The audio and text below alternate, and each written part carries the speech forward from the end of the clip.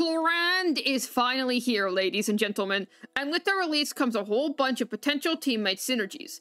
Today, I aim to rank all of Clorinde's teammates from worst to best with reasonings. My name is Juice, and let's get into it. But man, Clorinde is really fine, and I'd be lying if I was saying I wasn't ready to welcome her with open arms.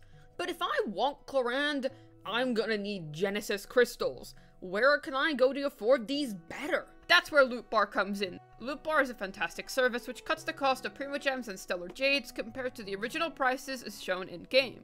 With 5% off for new users, it saves up to 20% compared to the official channel.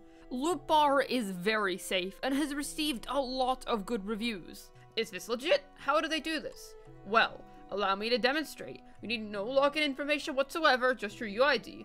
Go ahead and input that after choosing your desired package. Pay safely, and then voila. Take a look at this price comparison between the official cost and the loot bar cost. This is perfectly legitimate as the site uses a VPN to provide you for cheaper Primogems and official top-up methods are used. Try out Loot Bar today to save on all your gacha needs. So to start off with, here is Yao Yao, who I believe to be a little cope. This is because Clorinde is an on-fielder, and Yao Yao does not bode well with this. And her off-field Yueguis have awful Dendro application. This causes her to be a copium pick, because to get the majority of Yao Yao's value, you need to on-field her. Then for Collei. Her Dendro application itself is strong in terms of Dendro units, but the range is way too small to justify using her. She's free to play, but Dendro main character is a lot better, and she has zero other utilities, so unfortunately I consider her to be a little cope. Kuki Shinobu is a healer, and Clorinde heals herself, so her utilities aren't really needed alongside her. She's a big damage loss over just using a sub DPS, and Kuki Shinobu is generally better used in Hyperbloom teams. I'm going to use Venti to represent all of the other Viridescent Venerer options that don't have special benefits for Clorinde. They're all fine because they will apply Viridescent Venerer and work, but Clorinde herself receives no special benefit. Then we move on to the next tier, where I'm going to talk about Lynette. I'd say she is pretty good in Aggravate, but she has no grouping, which is pretty sad. Outside of that, she doesn't really have much else use, which is why I simply consider her to be workable. I'd say her main benefit to Clorinde is the fact that she's free to play, and she is decent in Aggravate in particular. Then we move on to Dendro main character. You use her or him solely as a free-to-play Dendro applicator. The Dendro application is good, but it is stuck in one place of the Abyss floor sadly, and she has no other qualities outside of this application.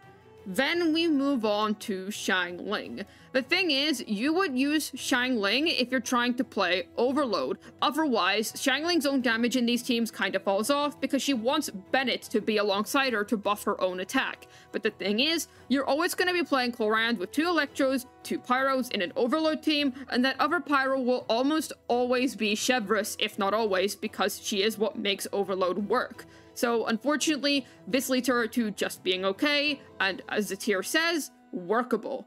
Then we get on to Yae Miko. So the thing with Yae Miko is that she is strong, but she takes Fischl slot, which is problematic, and her field time is long. The thing is, you would prefer to use Yae in her own aggravate team as opposed to pairing her with Clorinde, but I suppose if you want to run double waifu, then go for it. Then we move on to the good tier.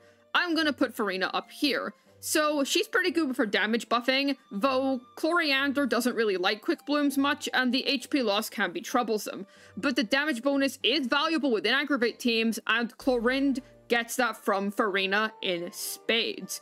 When it comes to Yelan, she has more single target concentrated Hydro damage and her sub DPS is very high, not to mention that her damage buffing is ramping based on her A4 and not based on HP loss mechanics, though she isn't any higher on the list because once again, Clorinde does not really enjoy dealing in quick blooms. Then we get on to Kirara. So she's a good free-to-play Dendro option, and she's a 4-star, and her defensive capabilities are not half bad. So because of that, I would say that she's a good use of Clorinde. After all, Kirara has proven herself to be quite effective within aggravate teams in general.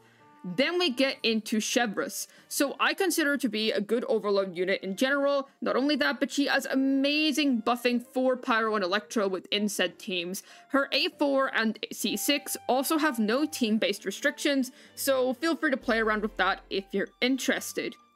Then we move on to the Splendid tier. This is where the supports are really starting to pack a punch. Yun Jin. So she's really good for Clorinde Hyper Carry. And a fun fact, she's one of the few characters that uses all of Yun Jin's buffing stacks. Not to mention, the attack speed that Yun Jin gives at C6 allows Clorinde to pull off one more normal attack in her regular combo rotations. High investment Clorindes will enjoy her as she makes her Clorinde no longer official only bot. Finally, this is a new use case for Yun Jin. She's not going to be stronger than Fischl, however, 99% of the time. Then we move on to Fischl. I would say she's best in slot and aggravate teams, her EM share is amazing, and it's amazing that she can also act as your Viridescent Venerer Swirler. Her main issue is that it can be hard for her to swirl if Nahida's in the team, because Nahida eats Electro Application for breakfast. Also, she can be a little bit difficult to use for players that are less experienced. Outside of that, although I'm usually quite unkind to Sucrose, I find that within Aggravate, she really shines. So yeah, good teammate in my opinion. Then we move on to the wonderful Baizhu. So he's an amazing defensive option within these teams. He has buffing, he has healing, and he has shielding, all in one. Tons of role consolidation while still fitting nicely within Aggravate. And that buffing I spoke about earlier is Dendro based, and he doesn't apply Dendro to the point where swirling becomes nigh impossible, and this is why I consider Baizhu the ultimate comfort pick. Then we move on to the electrifying tier. These are the characters that are really going to push your Clorinde to the next level. First things first, Kazuha. He is amazing. He loves providing Clorinde with damage bonus, and what do you know? Clorinde loves damage bonus herself.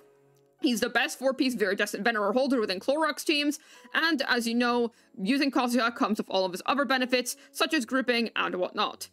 Then we move on to Nahida, who is the best Dendro applicator for Clorinde, no questions asked.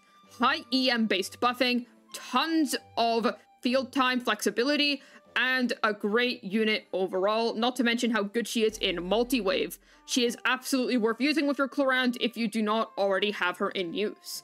And then the cream of the crop, Fischl. The thing is, Clorinde decided to be an aggravate carry, so naturally that makes Fischl her most electrifying option. Fischl is the god tier support. She has an amazing A4, which Clorinde can constantly trigger with her fast-paced electro-normal attacks, and she is very useful for energy gain, which considering how Clorinde's burst does nuclear damage and also gives her plenty of bond of life, that's a pretty great mechanic. She can reposition, and she's best in slot for Aggravate on the whole. Clorinde can really abuse Thundering Fury with Fischl, and she has the best team DPS of Clorinde overall. This is just a snippet into the wonderful reasons as to why you should be applying these supports within your Clorinde teams. I'll be discussing this all in more detail soon when my guide comes out eventually, hopefully on Friday. See you all then. Hopefully this guide was able to hold you over until I deliver my fully fledged Clorinde guide. This has been Juice, signing out. And another tip, that Chevreuse can immediately become best in slot with Clorinde if you're trying to form the double cop duo.